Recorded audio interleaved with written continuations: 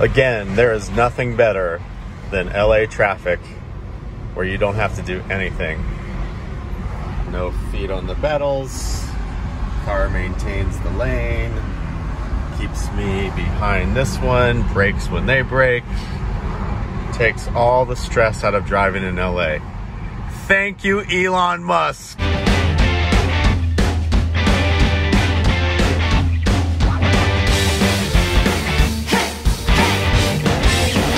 This is a sound test. Sound check one, two, three. Testing one, two, three. All right, a couple things. First, um, I still don't have a selfie stick. So you know who you are. You said, hey, get a selfie stick because we're way too close to your face. I get it. I'll get a selfie stick. This was a hobby, but since I'm becoming such a YouTube star now, I'll probably have to get the, uh, the stick. Uh, anyways, I've always wanted to do this. Uh, today we're gonna do a apples orange test. You know, apples and oranges, like they're not really the same, but it's kind of a test, you know, comparing an apple to an orange. And that's what we're doing today.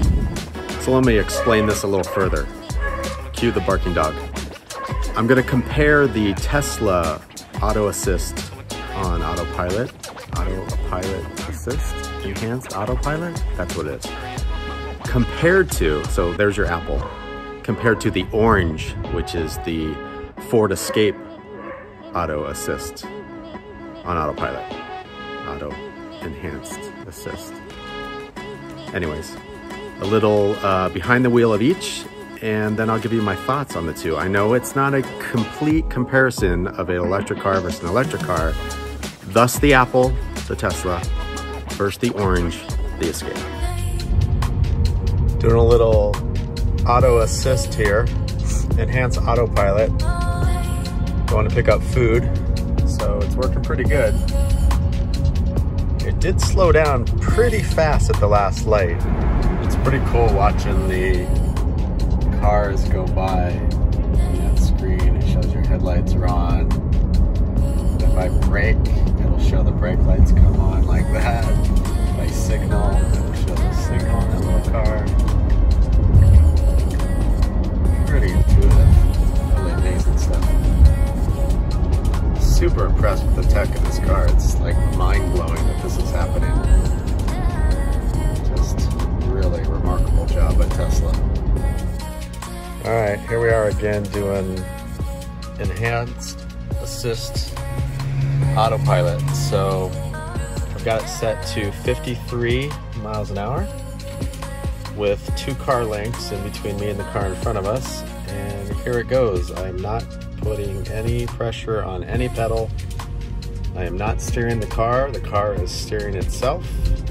It's gonna ask me to put my hand on the wheel and put some pressure every once in a while. I just did. And look at that. It is doing everything for me, staying right between the lines. And let's see if it breaks here. This guy's braking, it's braking, and it's a green light, but it's still braking for the car. That's pretty good.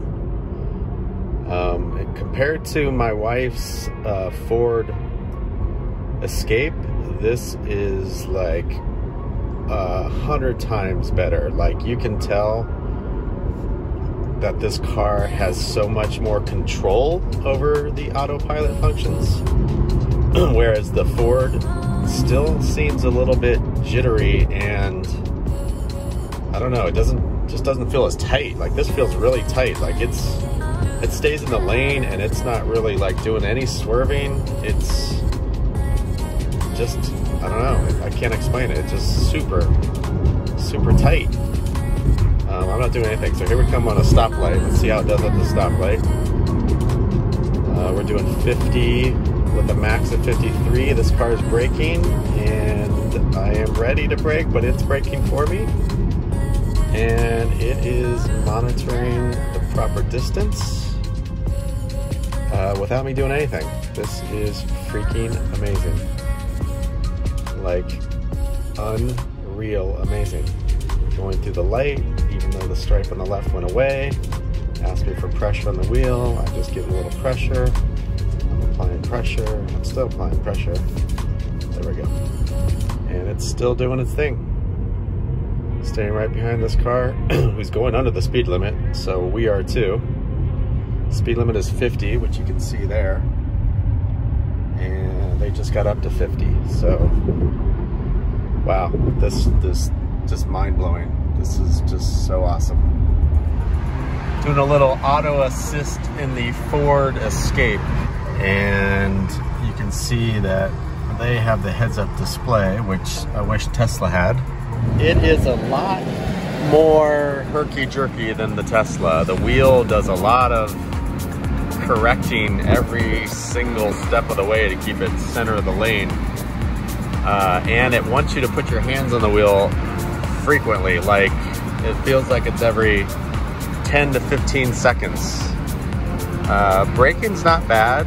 A couple times I've been nervous, um, but driving the Tesla with the auto assist uh, cruise control, uh, it's about, I don't know, I feel safer, 10 to times safer in the Tesla than this thing. Um, still a little herky-jerky. I don't know why the wheel has to continue correct. Uh, just very slight corrections, so the wheel's always moving. Uh, there you go, little Ford Escape. I am not gonna lie, this is worth every penny of this car. I am driving to work, I'm in rush hour morning traffic, I'm in the carpool lane and I'm not doing anything. And this is where LA is so stressful. Bumper to bumper, stop and go, gas, brake, gas, brake, gas, brake. But here I am in the carpool lane with a setting of one car length in front of me, a maximum speed of, oh, put my hands on the wheel, maximum speed of 76, and the car is doing it all. This takes away so much stress you can't imagine. Ton of stress is lifted in this kind of commute. There you have it, my first ever apples versus oranges test.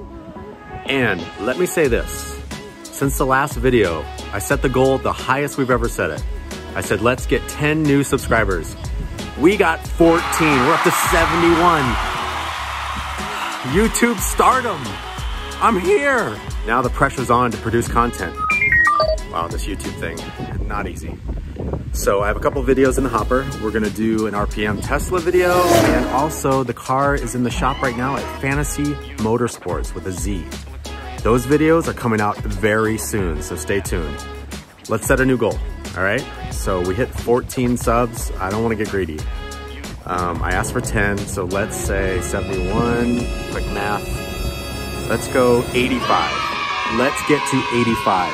Phone a friend, get a viewer, have your kid become a viewer, your cousin, your gardener, whatever.